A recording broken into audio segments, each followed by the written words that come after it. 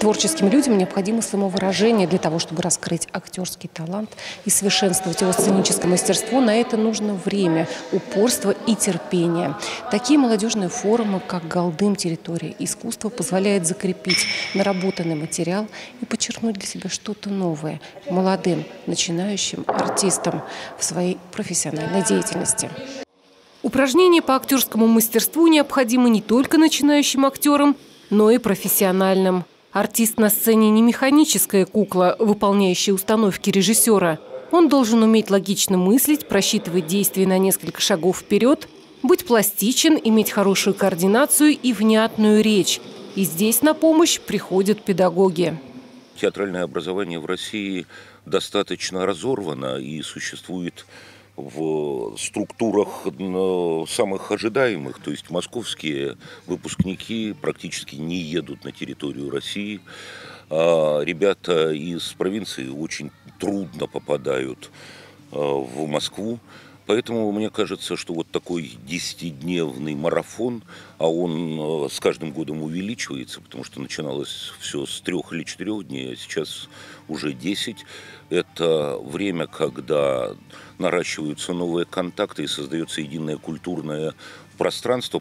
Главная цель совместного проекта двух институтов – это создание единого языка между всеми театрами России. Территория искусства – это не только творческое, а прежде всего образовательное пространство. В этом году помимо тренингов и этюдов внимание уделяется драматургии Островского.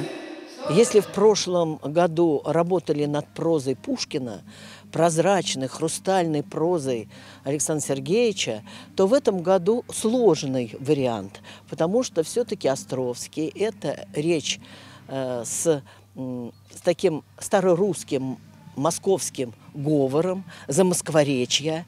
И э, этот, э, эта речь по орфоэпическим нормам далека от студентов. Поэтому приходится немножко погрузить их на этой территории. Они молоды, талантливы и креативны. Они пока еще студенты, но в душе уже актеры, которые охотно обмениваются опытом со своими так называемыми коллегами.